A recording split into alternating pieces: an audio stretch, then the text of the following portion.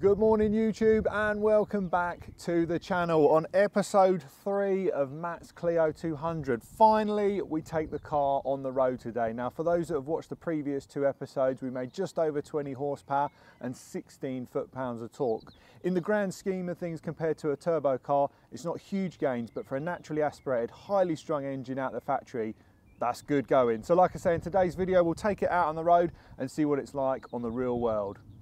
So to recap before we get out on the road, as we had a few comments about it, what did the Engine Dynamics Stage 2 package consist of? Well, essentially it's the camshaft package with the ECU calibration. It's the CatCam 403 profile, which again, I'll put the link in the description for all of Andy's packages that he offers.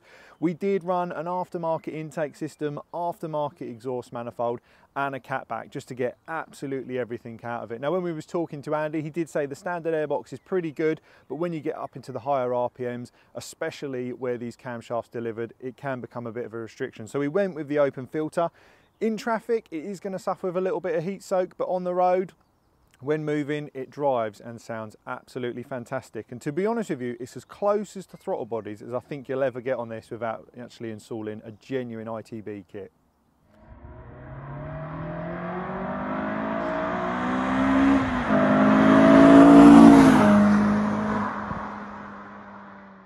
So last thing we'll go on to with the cat cams, as we mentioned, you do sacrifice a little bit of lower RPM, but it does make a wonderful, wonderful, almost like offbeat idle rally sound. Really, really cool.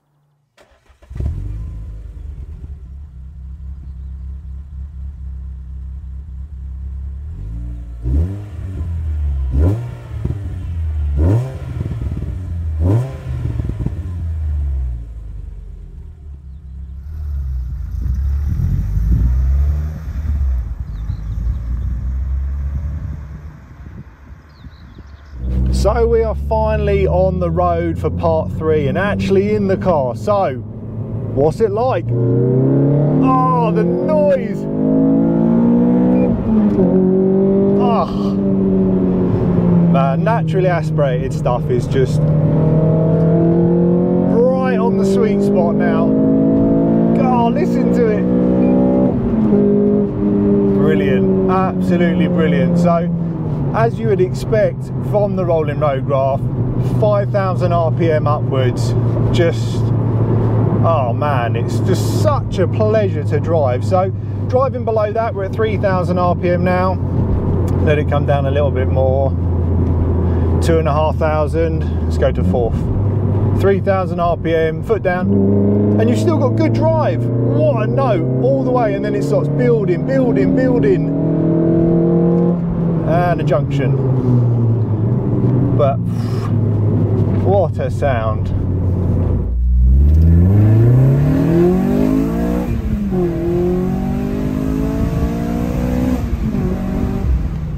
So even with normal driving, and I guess for most people who own these, they are going to daily them. Not everyone is into track driving. You can still drive it completely normal. Say third gear, we'll drop it all the way down, 1500 RPM, light throttle, still pulls away. If you put your foot all the way down, you're just greeted by enormous induction power, which to be fair, the standard car does anyway. They're far from a torque monster. But when you get above that, just, that's two and a half.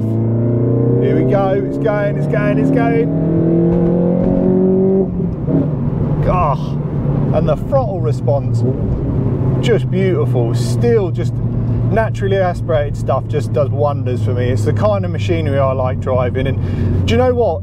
If I was to buy one of these, I've got to say I would definitely have the package done because it really does just wake the whole engine up. I wouldn't say it was as wild as VTEC, but it certainly reminds you a lot of that because you're always chasing that sweet spot rather than just, I guess the standard, these are not that they're not peaky up top, but they are very linear in the way they deliver the torque. Whereas now it hits the 5K and you really feel the car surge, which obviously isn't something you guys are going to experience in front of the camera, but actually on the road, wonderful.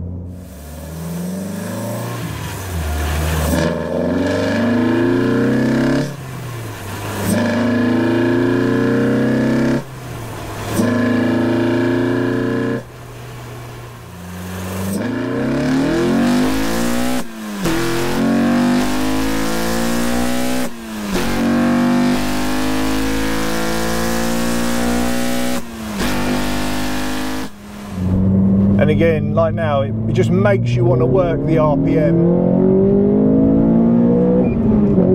Ah. Straight down into the corner. Little rev match. Ah.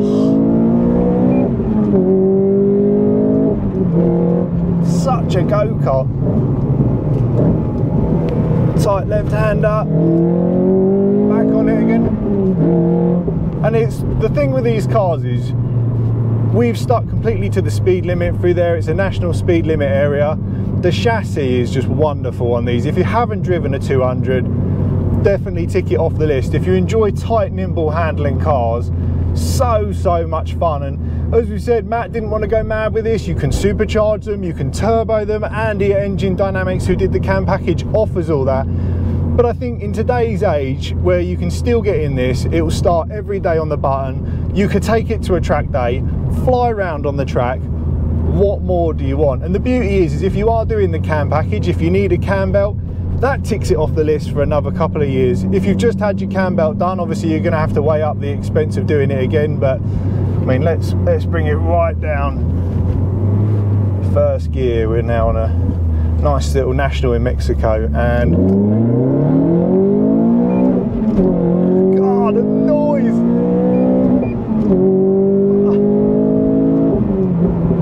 Ah. All the way up to 60 mile an hour.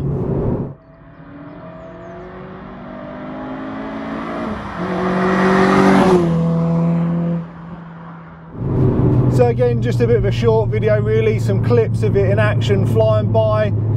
I hope you enjoyed the part three. There's not really much to talk about the car in general because we've gone over that. It was more just the experience on the road. But as I said, in terms of having so much fun just blasting around on the B roads and the surge, like I say, at 5,000 RPM, four, five, 6K, 7K. Awesome. Absolutely awesome.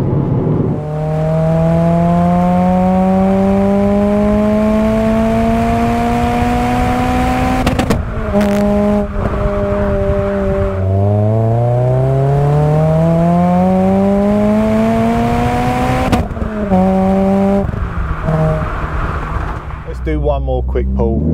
Ah.